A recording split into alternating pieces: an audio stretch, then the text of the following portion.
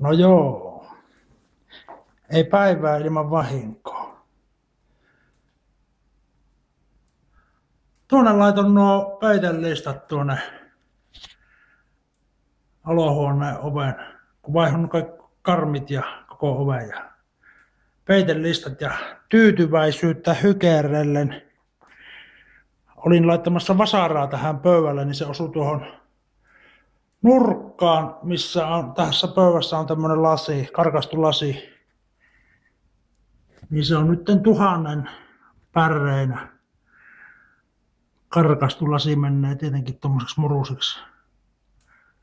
Ei pienintäkään havaintoa mitä maksaa, mutta tuota, tuskin satasella lähtee.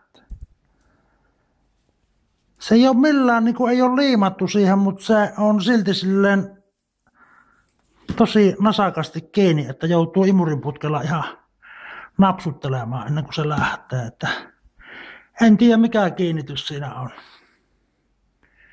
Onneksi on tuossa Helipsissä mulla tuo tyhjennettävä pussi, niin ei kun vetskari auki vai imurin pussista ja lasin roskikseen. Ja taas on tyhjä pussi. Sinne piti laittaa työkalut tuosta pöydältä. Oli mulla sanomalehdet tässä. Sanomalehdet oli tuossa niinku pehmikkenä, että ei sit noista työkaluista ei johtunut tää homma, mutta se tuo pikkasen tuohon nurkkaan kolahti vasaara, niin sehän menee tuommoinen karkastulasi välittömästi rikki. Että tälleen tänä päivänä